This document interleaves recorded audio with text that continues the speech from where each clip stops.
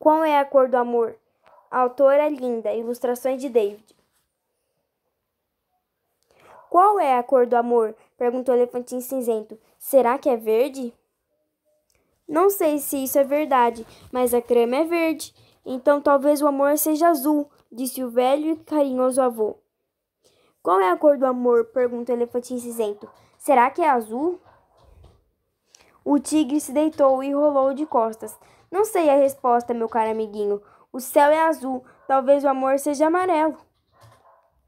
Qual é a cor do amor? perguntou o elefantinho cinzento. Será que é amarelo?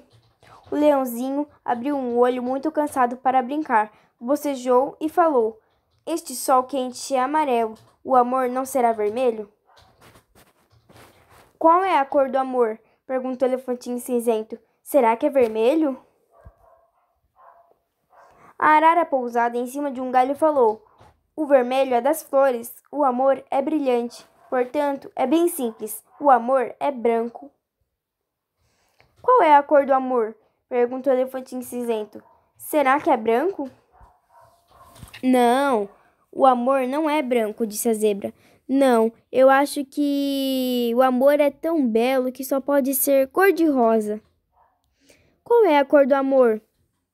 Perguntou o elefantinho cinzento. Será que é rosa? Rosa? gritou o flamingo. Não, não pode ser. O amor não deve ser laranja, como o pôr do sol à tardezinha? Desanimado e cansado, ao fim do dia, o elefantinho cinzento falou: Já sei a quem perguntar.